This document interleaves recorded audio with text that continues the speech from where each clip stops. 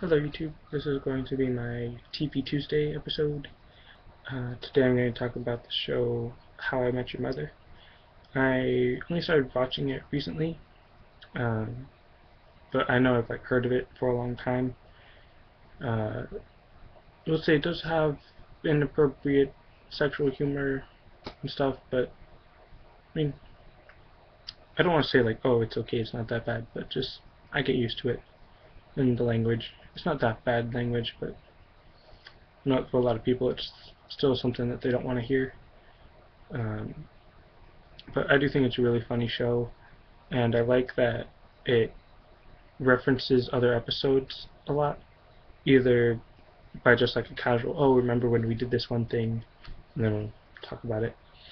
But first, I should say that the reason it's called How I Met Your Mother is because the show is about the main character Ted talking to his two kids uh, in the year 2030 and telling them the story of how he met their mother.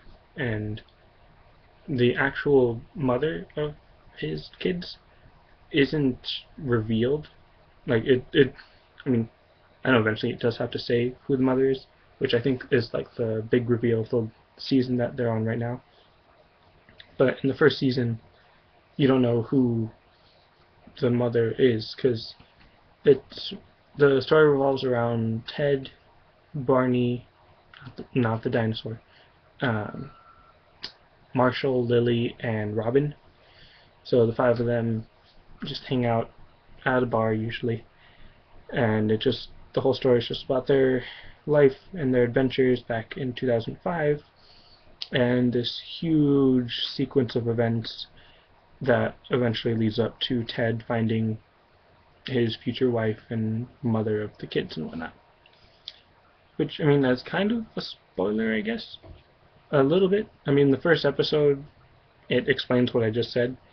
But if you were to watch it for the first time, like when it was coming out the first season, you would kind of think that the mother would be revealed, like at the season finale or something. But the show's been going on since 2005, so you know by now that the mother isn't revealed until like this current season, which I would guess is maybe the last season. I don't know. I haven't heard much about it. But anyways, um, uh, like I said earlier, in one episode they'll mention some adventure or like go on some adventure, and then a few episodes later they'll be like, "Oh, remember when we did this?" And I'll show like a quick clip from that episode, and then if you've been watching, then you can be like, oh, hey, I remember that episode. I'm cool. I get it. But uh, there are other times when the narrator, Ted, um, like from the future Ted, is talking about like, oh, and then like this thing was okay, but I remember this later thing that was even better, but we'll get to that. Like then when you eventually get to that episode where they talk about that event, it's pretty cool. Um, not too much else I can say about it because I don't want to spoil it or anything for anyone who wants to watch it.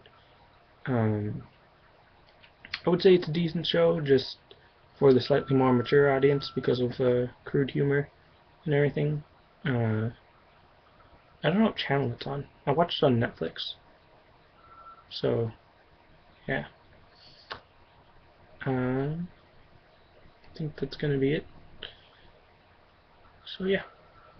See ya.